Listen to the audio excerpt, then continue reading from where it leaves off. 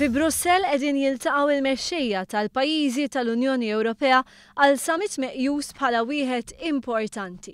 Summit li fuq l-aġenda tiegħu għandu s-sitwazzjoni fl-Ukraina u min se jokkupa żewġ karigi importanti ħafna fl-istituzzjonijiet tal-Unjoni Ewropea. Dawn huma dik ta' President tal-Kunsill Ewropew u ta' Kap tal-Politika Barranija li fl-aħħar snin kienu fihom Herman Van Rompuy u Catherine Ashton. Bi tħejjija għal dan is-summit li beda l-ħabta tal-ħamsa u nofs, il-Prim Ministru Joseph Muscat attenda l-laqgħa tal-mexxejja Soċjalisti Ewropej, laqgħa li saret fil-Palazz Presidenzjali fi Franza u li kienet imsejħa mill-President Franċiż François Hollande. Wara l-laqgħa l-Prim Ministru Joseph Muscat qal li l-ogħla prijoritajiet għall-partiti Soċjalisti jibqgħu t-tkabbir ekonomiku u l-impjiegi. Qal ukoll li l-Ewropa trid tibdel id-direzzjoni biex tikkompeti globalment.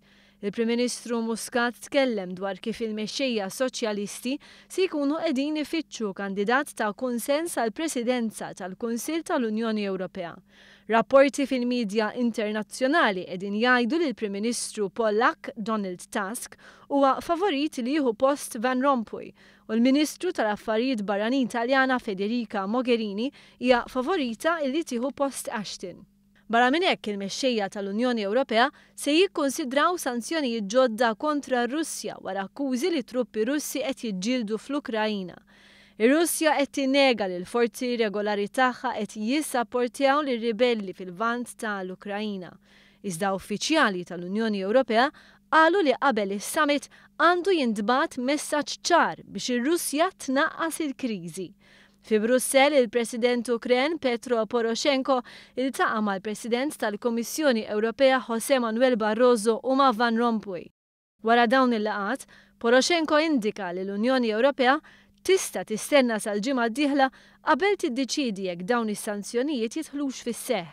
Dan anke għaliex jiddependi mill-progress li jkun hemm fit-taħdidiet mar-Russja.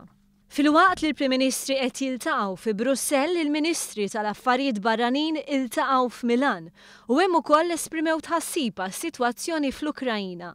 Appellaw lir-Russja biex tirtira l-forzi mill-pajjiż ġar tagħha.